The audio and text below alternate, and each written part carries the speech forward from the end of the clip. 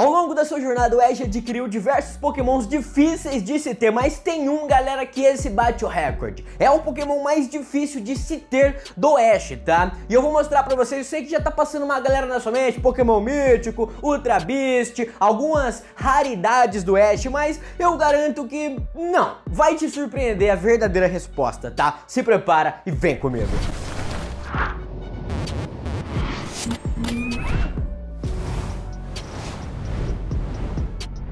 Oi nerds, eu sou o Rian e seja muito bem-vindo. Galera, o Ash, como eu acabei de dizer, teve muitos pokémons ao longo dessa jornada, né? Ele adquiriu muitos pokémons raros, pokémons poderosos e especialmente pokémons difíceis de se ter. Primeiramente, a gente tem que entender o que é pokémon difícil de se ter. Esse aqui é um vídeo completo, a gente vai decifrar isso aí, não é quem você tá pensando, tá? Eu já até fiz algum vídeo curto sobre isso, é, o vídeo pegou muitas visualizações e muitos comentários dizendo que eu estava errado, mas aqui, agora, a gente tem mais tempo de vídeo, eu vou mostrar pra você que eu não tô, tá? Que faz todo sentido, então ó, pega uma pipoquinha, esse vídeo tá show, tá filé demais e se inscreve no canal porque isso apoia muito o nosso trabalho. Vamos nessa, 10k até o final do ano, a gente vai conseguir com o apoio de vocês, muito obrigado por você, já tá aqui apoiando a gente gente, tá? Então vamos nessa. Pokémon difícil de se ter. Primeiramente, a gente tem que entender o que, que é isso. O que, que é isso, Rian? Calma que eu te explico. Pokémon difícil de se ter não necessariamente é Pokémon raro, tá? Ó, ó, se atenta aí no detalhe. Pokémon difícil de se ter tá muito mais atrelado ao poder do Pokémon do que a sua raridade em si, tá bom, galera? Se a gente encontra um Rattata Shiny, é um Pokémon difícil de se ter. Lógico, né? Não é toda hora que brota um, um Pokémon Shiny. Só que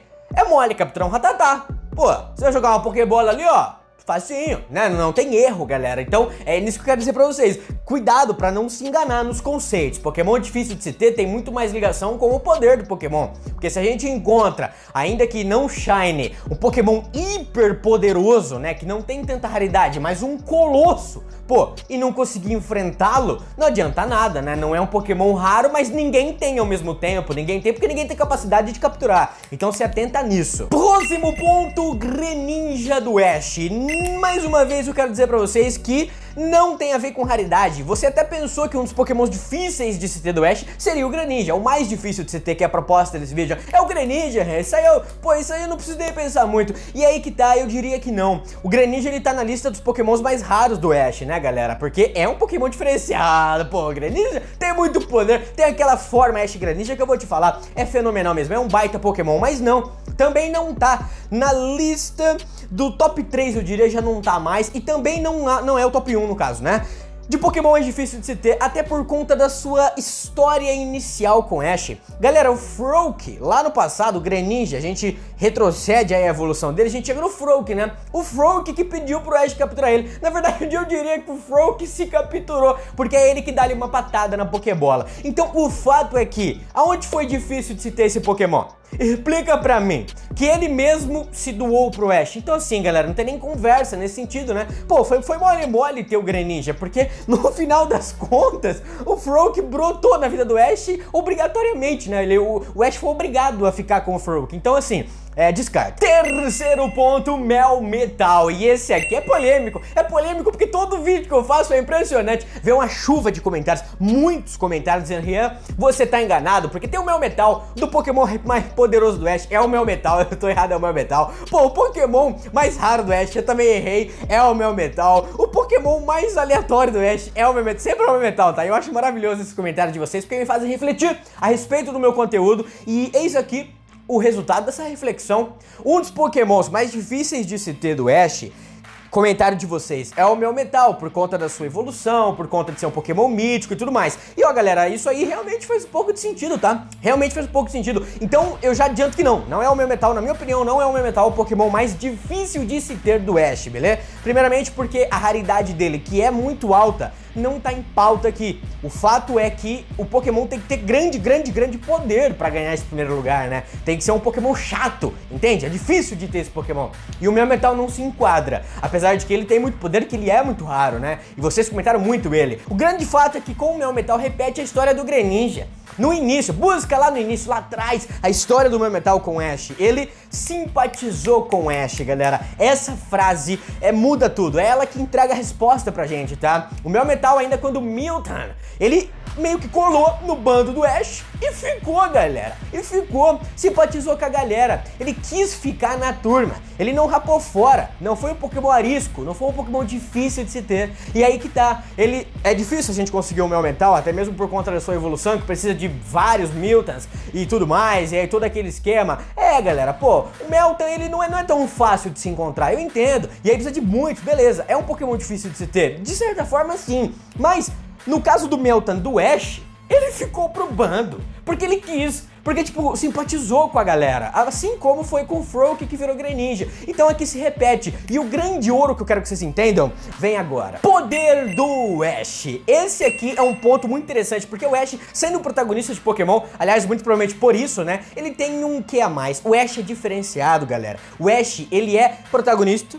O Ash, ele é muito poderoso. E o Ash, ele é muito simpático. Ele é um ótimo treinador. Ele cuida dos pokémons. Pro Ash estar à frente do seu ego, da sua vitória, da sua vontade, da sua captura, o bem-estar dos pokémons. E isso muda o jogo completamente, porque os pokémons simpatizam com ele.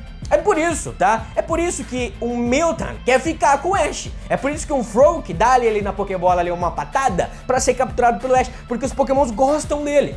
Aliás, é por isso que a gente tem vários pokémons que o Ash nunca chegou a capturar, mas que a galera considera que é do Ash, né? Se é ou não do Ash, é uma pauta a se discutir. Mas o fato é que todo mundo considera que é do Ash, apesar do Ash nunca ter capturado, porque o Pokémon gosta tanto dele que fica junto. Então é como se a gente não pudesse considerar dificuldade de captura pro Ash, entende? Porque, pô, galera, fica muito fácil para um cara especial que nem o Ash, diferenciado que nem o Ash, ter esses Pokémons que são diferenciados, que são raros, né? Que são um pouco difíceis de se ter, mas não definem o mais difícil de se ter, porque o mais difícil de se ter, a gente chega na resposta fazendo o caminho inverso. Basta pensar o seguinte, o Ash com todo esse poder de protagonista, o Ash com toda essa simpatia Pokémon, não conseguiu a amizade de um. Ele não conseguiu a aprovação de um. Esse um é o Pokémon mais difícil de se ter da vida do Ash. É o Pokémon mais difícil dele conseguir, porque primeiro é o mais poderoso e segundo isso, não simpatizou. Esse Pokémon ficou arisco do início ao fim. Esse Pokémon não cedeu ao poder do Ash, ao poder de colar no Pokémon e automaticamente virarem parceiros, tá? E esse Pokémon, esse Pokémon é o mais difícil de se ter. Pra finalizar, Pikachu do Ash. Sim, eu cheguei no brabo, tá? E vou te explicar o porquê. Se liga, presta atenção. O Pokémon mais difícil de se ter, a gente acabou de entender, é o Pokémon que não cai no, no canto do Ash, não cai na, na, no poder de protagonista dele, no poder de, de simpatia do Ash, né? Que na verdade é ser parceiro todo Pokémon só conhecer 5 minutos de amizade e já viraram parceiros pra vida toda. Então, o Pokémon mais difícil de ter é o que não cai nesse conto. É o que não, não é, vamos dizer assim, né, encantado por esse poder que o Ash nem sabe que tem, né? E também é um Pokémon muito poderoso muito poderoso. Tem que ser um Pokémon poderoso, porque assim, não é fácil capturar um Pokémon poderoso, vocês concordam? E aí a gente encontra o mais difícil de se ter. Galera, o Pikachu do Ash tem um poder fenomenal, muito grande. O Pikachu do Ash é poderosíssimo, tá? Sendo o Pokémon mais forte dele. É o Pokémon mais forte do Ash, confirmado naquela luta contra o Leon. Na boa, por que, que o Pikachu iria vencer a luta final ali do Ash na Liga Pokémon Mundial, trazendo o título pra casa e tudo mais, galera, se ele não fosse mais poderoso. Ele foi colocado naquela posição de destaque. Aliás, ele caiu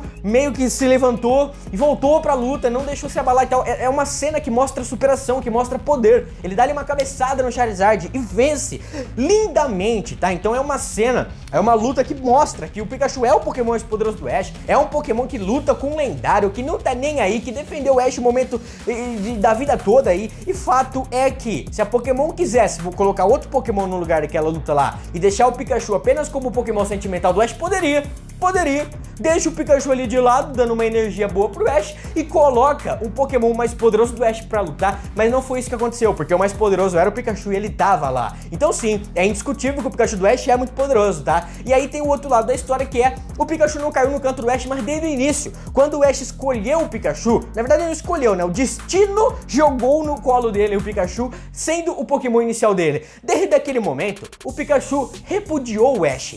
Ele não aceitava o Ash como treinador, ele não obedecia ao Ash, ele não ficava na Pokébola, galera. Era um Pokémon rebelde. Era um Pokémon rebelde completamente. Aliás, muitas vezes dando golpes no Ash. Ele executando o, o moleque, tá? Dando altos raios ali, choque do trovão a rodo. Então, o Pikachu do Ash não demonstra pelo menos hoje sim, na real, né? Mas no início, é isso que eu quero dizer pra vocês, entende? No momento que esses dois não eram grandes parceiros, o, o Pikachu nunca demonstrou cair no conto do Ash, né? Que o Ash nem sabe que tem, acho que vocês conseguiram entender essa aí. O Pikachu simplesmente é um Pokémon rebelde. Era um Pokémon que, além de tudo, não queria ser capturado, não queria receber ordens, dando até mesmo golpes no treinador que tentasse controlar ele. Eu termino o vídeo provando pra vocês que o Pikachu é o Pokémon que o Ash tem hoje, mas é difícil de se ter. Porque por mais que os outros sejam raros e tudo mais, os outros meio que caíram do colo do Ash, caíram no bolso dele, no time dele assim, ó. Muito mais fácil do que ir atrás do Pikachu que ele tem hoje. Mas nada disso vale se você não comentar a sua opinião. Faz sentido na sua opinião? Faz sentido o que eu tô passando pra vocês? Você acha que não? Você acha que não? O Pikachu ainda não é o Pokémon mais difícil de se ter do Ash, é o outro por causa disso, disso, disso. Você discorda, quer complementar algo que eu falei? Comenta aqui que vai ser da hora demais e não se esqueça do seu feedback, seu apoio pra gente alcançar 10 mil até o final do ano, 10 mil inscritos nessa comunidade.